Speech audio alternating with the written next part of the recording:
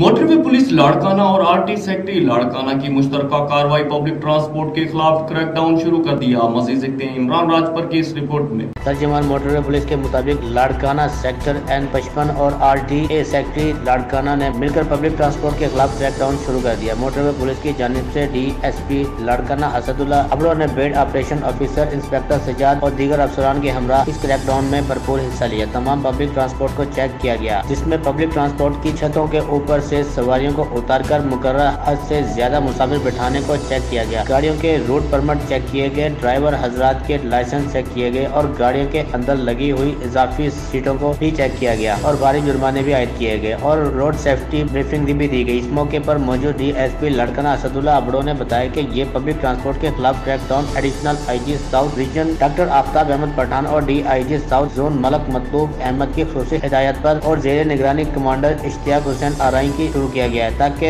हमारे ट्रांसपोर्ट से वाबस्ता तमाम स्टेट होल्डर जिम्मेदारी का मुजाहरा करते हुए सेफ्टी कवानी पर अमल पैरा हो और रोड हादसे में कमी वाक़ हो जिसमें काफ़ी जानी और माली नुकसान हुआ था कैमरामैन मैन दुरानी के साथ इमरान राजपर राज न्यूज़ सखर